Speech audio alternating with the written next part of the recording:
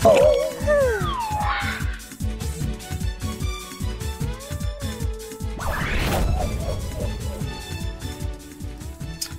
Mabro, ketemu lagi di channelnya Simoni Apa kabar kembali sahabat kawan-kawanku semuanya? Kita akan bahas magi kita yang memang gayanya kasual dan play banget Mabro Kemarin masih banyak yang nanyain untuk masalah refine mengenai senjata yang warna biru. Bagusan mana mang? Kira-kira lebih murah yang mana? Intinya sih lebih murah dan efisiensi ya.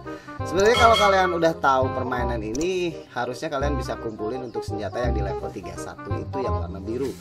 Selain dari armor yang memang gue pakai full set Belum sempet sempet digorok untuk kepalanya. Nggak apa-apa Gunakan full set juga menurut gue sih lebih aman ya. Yang penting damage magic attack dengan status lu tuh udah maksimal dari gayanya full intelligence setelah dipotong dari uh, persyaratan dari equip yang lu pakai.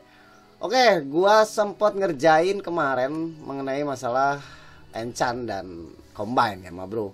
Jadi ada beberapa hal yang memang harus kalian perhatikan.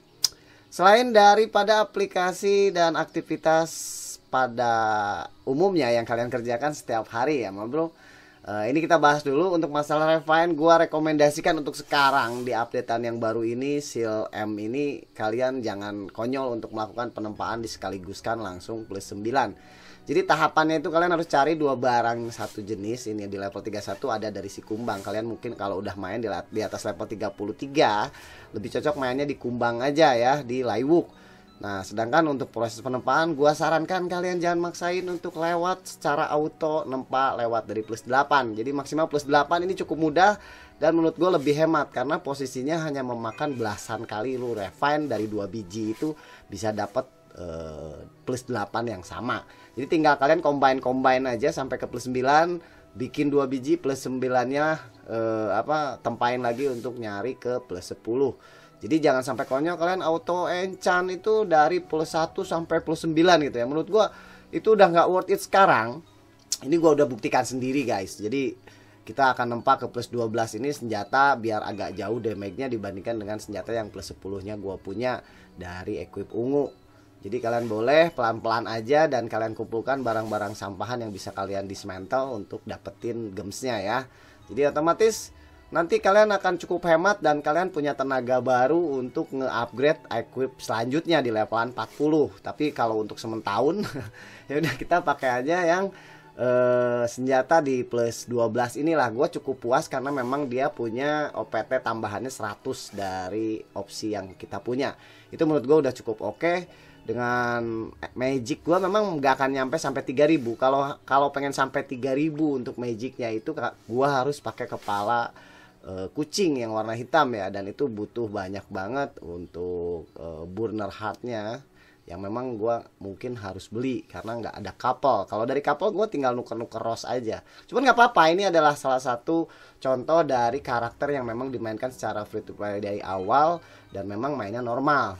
Nggak lebih dari 8 jam. Gue selalu mainkan karakter ini 4 jam 4 jam dengan karakter yang lainnya. Jadi sehari gue cuma waktu punya ada 8 jaman lah untuk mainin game ini Oke udah sampai jadi plus 12 jadi kalian lebih fokus nanti cari opart aja. Kalau gue kan cuma pakai hidung celeng. Pink nose ini cukup efektif lah untuk seorang mage yang memang bener-bener uh, apa namanya main santai gitu. Karena untuk nyari opart legend itu nggak semua orang beruntung. Jadi ini salah satu contoh karakter yang memang dimainkan secara wajar ya bro ya, bukan ekstrim ataupun hardcore player.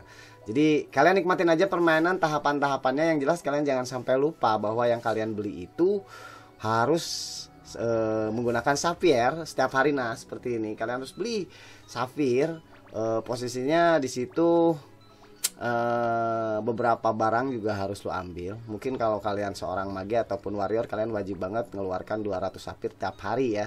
Ya ini salah satunya untuk beli 1000 piece dari sub sedangkan posisi kalian kalau memang safirnya udah kritis kalian mau nggak mau harus sering-sering nontonin uh, apa namanya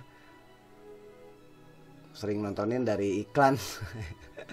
Ada seribu sapir yang disediakan kalian harus nonton 10 iklan. Ya walaupun kadang-kadang agak nyebelin ya gue nggak terlalu suka juga dengan playable ads-nya yang memang harus kita gerakkan dulu baru dia bisa nge-close untuk iklannya. Nah kalian boleh kerjain lah itu yang 10 biji.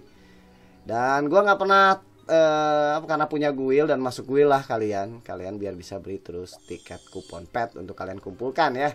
Nanti kalau udah 10 langsung buka. Kalau satu-satu biasanya bau guys. Kalau satu-satu biasanya bau. Jadi kita tes damage Makasih kalian yang selalu support di channel gua. Semua kalian uh, lancar aja aktivitas main gamenya. Dan kalian jangan sampai lupa kalau memang uh, game ini gua progres setiap hari.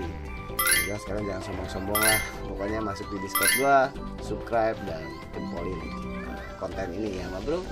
Nuntisan buat semuanya. Ini udah cukup lumayan enak. Damage gua tembakannya setiap kena itu kurang lebih dari 1000 ataupun 10k lah ya untuk areanya gue masih di bawah 2000 sih tapi gue udah cukup puas lah itulah makasih banyak kalian udah sempat mampir nontonin uh, konten ini semoga bermanfaat buat teman-teman yang memang baru bikin dan baru mainin ya uh, semoga kalau kalian uh, sempat mampir gue setiap hari pagi dan malam mungkin biasanya live streaming untuk meramaikan permainan ini bro Yaudah, gue undur diri. Sampai jumpa lagi. Thank you. Bye bye, ma bro.